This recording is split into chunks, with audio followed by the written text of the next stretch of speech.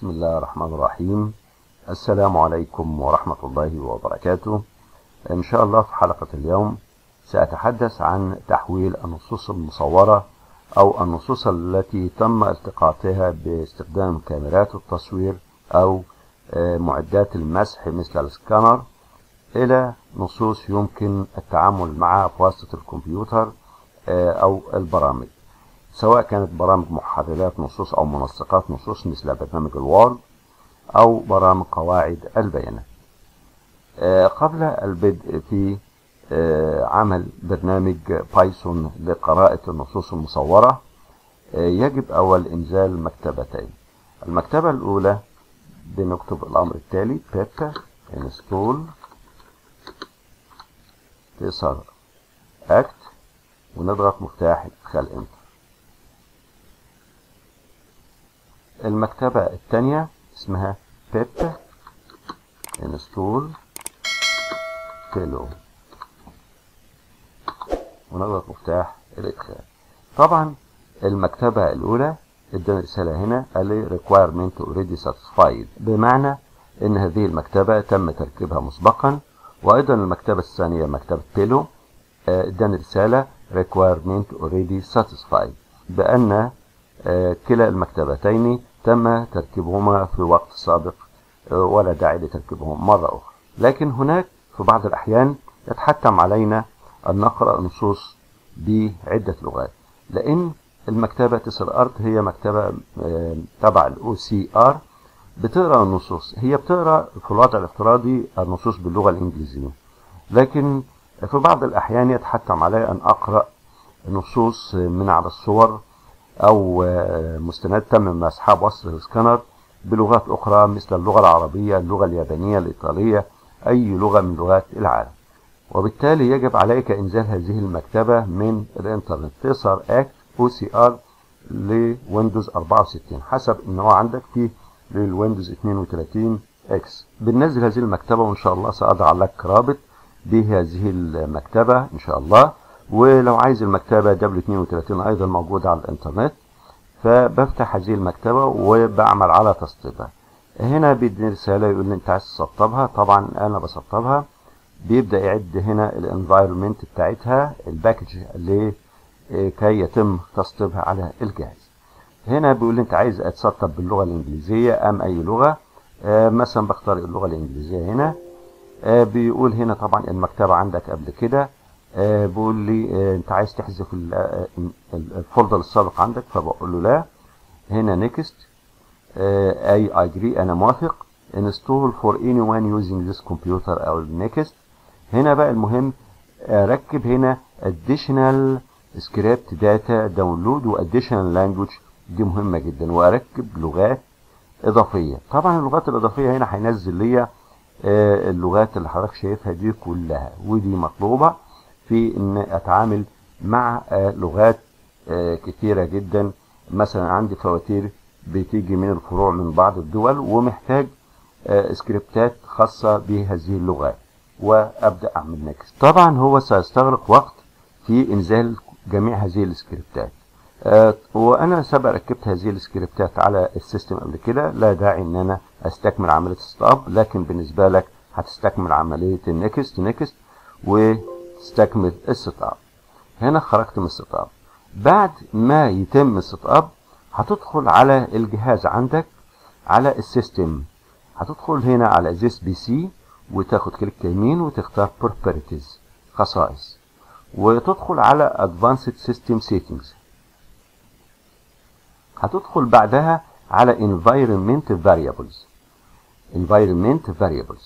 وبعدها تدخل على ال path تفتح مسار هنا آه تختار edit click edit وتلاقيني هنا وضعت هذا المسار اللي هو C program files OCR ده. ده اللي أنا حطيته.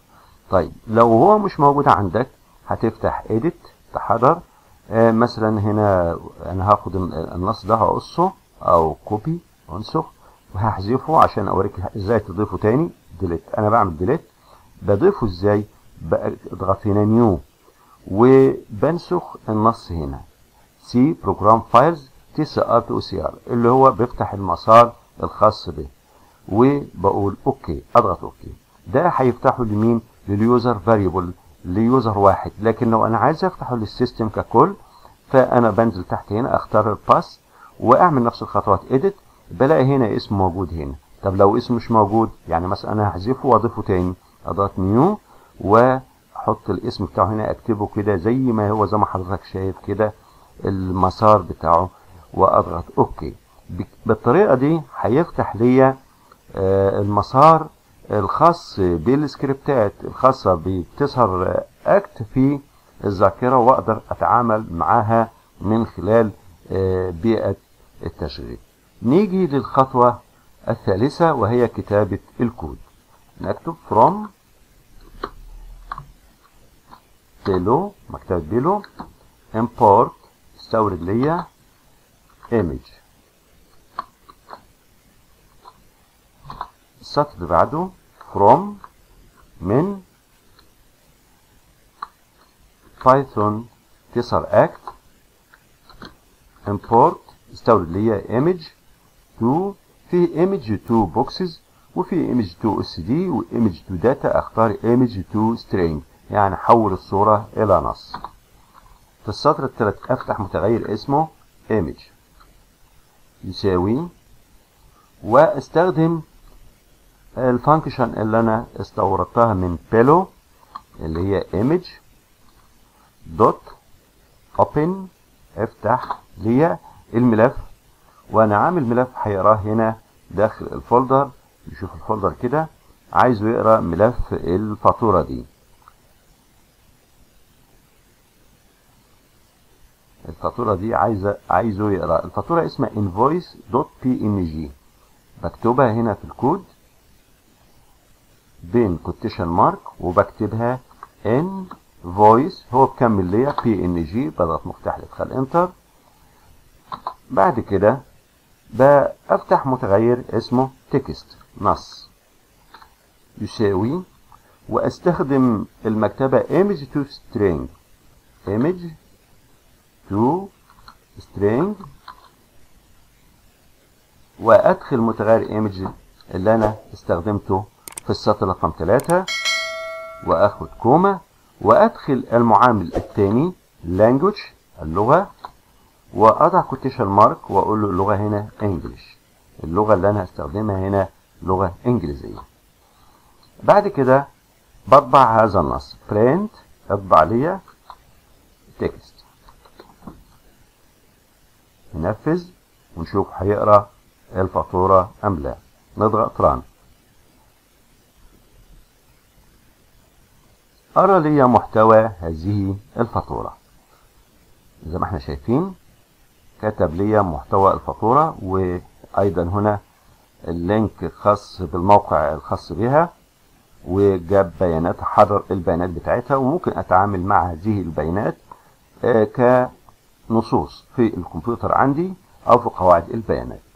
لو حبيت أحفظ النص ده في ملف هل ممكن؟ أيوه. أفتح مثلا متغير اسمه file يساوي وهنا أقول له open افتح لي ملف.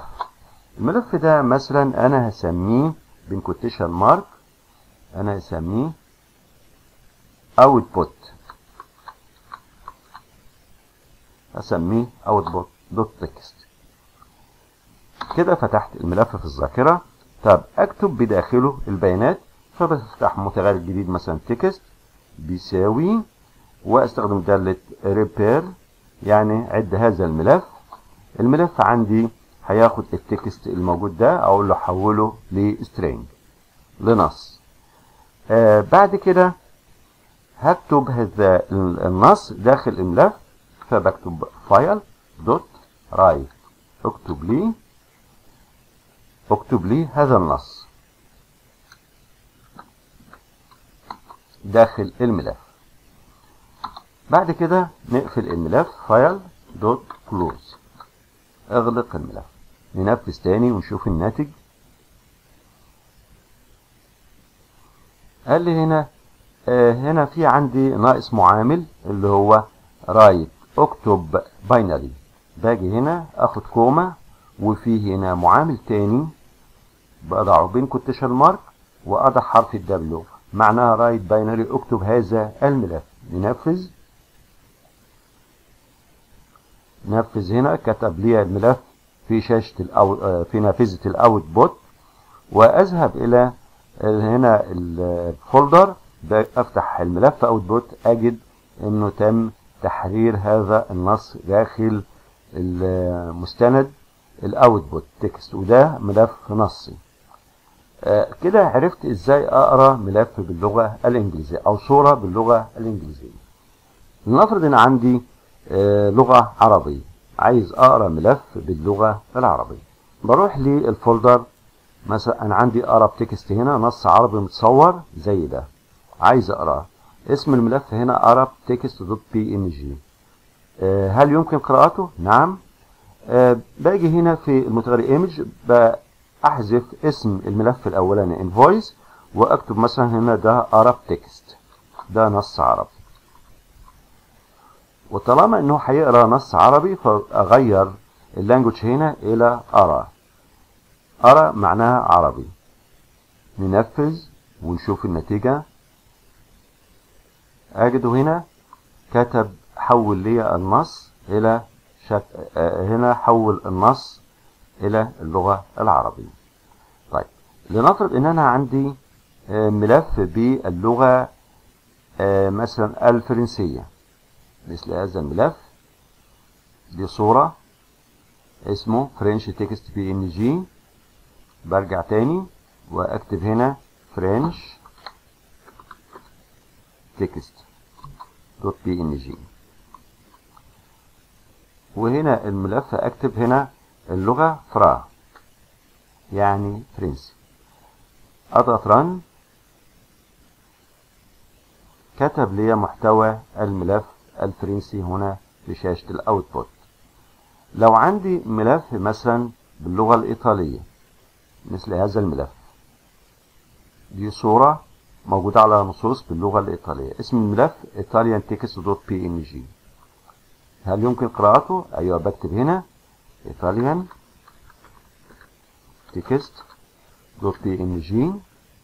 وهنا أكتب إيطالي. أضغط run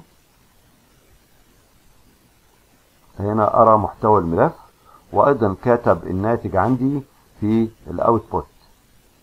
كتبه هنا لو عندي ملف باللغة الألمانية أو صورة باللغة الألمانية موجود عليها نص مكتوب بالألماني. اسم الملف هنا PNG آه نذهب إلى محرر الأكواد ونكتب PNG وهنا ال language Deutsch هنا ألماني. ونضغط ران؟ كتب لي محتوى هذا الملف. أرى الملف وكتبه وأيضا وضع لي النسخة هنا متحررة داخل الملف التكست عندي.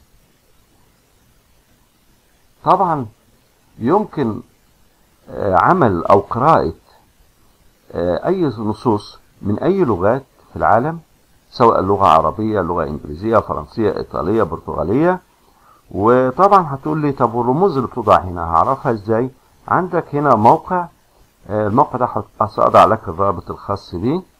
بيديك رمز مثلا كل لغة يعني أفر هنا أفريكانز أمهاريك عربيك جميع لغات العالم اللي بتدعمها ال Tesseract عندي. وطبعا هو بيديك هنا علامة X هنا للغة مثلا هنا اللغات اللي بدعمها على حسب ال version اللي هو موجود. إن شاء الله هضع لك رابط. خاص برموز كل لغة. يعني ENG خاصة بال English. بالطريقة دي عرفنا إزاي نقرأ النصوص المكتوبة على الصور. سواء كانت صور PNG أو صور JPG أو أي صور أو صور PDF لأن ممكن تتعرض في مهام العمل قراءة مثلا الفواتير. ودي عملية طبعا مرهقة بالنسبة للناس بيواجهوا فيها مشاكل وطبعا محتاج قارئ آلي يقرأ هذه النصوص والتعامل معها بواسطة الكمبيوتر وبواسطة قواعد البيانات. السلام عليكم ورحمة الله وبركاته.